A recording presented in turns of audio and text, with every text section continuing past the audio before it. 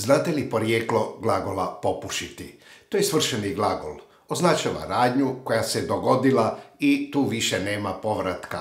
Taj glagol ima jedno obično neutralno značenje, recimo popušiti cigaretu i to naznačenje u ovom slučaju ne zanima i s tim značenjem naslov videa HDZ-ov pushing ne bi imao smisla. Kad se kaže da je HDZ popušio odmah je tu ono drugo značenje pred očima.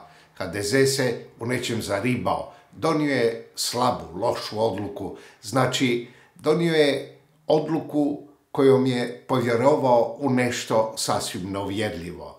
Svi će se složiti da je HDZ popušio s izborom Dragana Primorca za svojega predsjedničkog kandidata. Svi, osim onih najtvrdokornijih HDZ-ovaca, a tih nije malo, ali nije ni dovoljno za Primorčevu prevagu. Taj žargonski riječnik koji se govori po birtijama i kavanama, a manje je pristojan u službenoj komunikaciji ili u saborskim raspravama, najbolje odgovara onome što je HDZ napravio s izborom Primorca. To kažu svi politički analitičari. Nijednoga nismo mogli čuti da je rekao kako je to dobar posao za HDZ. To će tako biti još neko vrijeme, ali kako para vrti sve, siguran sam da će se naći i mediji analitičari koji će hvaliti taj HDZ-ov izbor, ne bi li održali kakvu takvu ravnotežu između dva glavna kandidata u nekoliko mjeseci do izbora. Sada Gotovo da je zanimljivije govoriti o tom ekspresivnom glagolu popušiti nego o primorcu koji je održao govor obznanjenja da kreće u trku za predsjednika, a taj govor bio u najmanju ruku sačuvaj me Bože u glavnim porukama koje je poslao i u gestikulaciji i u tome kako se ukočio pazeći da ne preskoči koju riječ s blesimetra i na posljedku način kako je buljio blesimetar dok je čitao upravo dirljivo, patetično i zapravo smiješno. S tim govorom Primorac je pokazao ne samo da je HDZ popušio s izborom, nego da je on sam popušio što se uopće latio takvoga čega. Takav pushing kao riječ došao u Hrvatsku vjerojatno iz prijevoda francuskog forić, što pak dolazi od latinskog felacio, a što je felaciji, to dobro znamo i ne treba objašnjavati. Treba samo pogledati kako se primorac pekmezio pred kamerom ispred koje je bio blesimetar za koji je prikovao oči. Inače, protiv primorca i njegovih organizacijskih uspjeha zaista nemam ništa protiv. Da pače, našao bih puno riječi hvale i sam bih mu povjerio liječenje zdravstvenih problema koje bih eventualno imao, a on je stručnjak za liječenje takvih zdravstvenih tegoba. Kod mene je jednostavno poradio poriv da iz svojega kuta i po svojoj nenavijačkoj objektivnosti komentiram političare, pogotovo špic političare u Hrvatskoj i pogotovo one na vlasti. Tako sam pod zub uzeo i Primorca. Jednako je i s ostalim kandidatima Milanovićem i Marijom Selak Raspudić, a isto će biti i sa svim ostalim kandidatima. Neki će reći da to zapravo i nije pušiona HDZ-a, već svjesna odluka da tron prepusti Milanoviću još jedan mandat. Takvi se glasovi mogu čuti iz desnice i to one malo desnije desnice.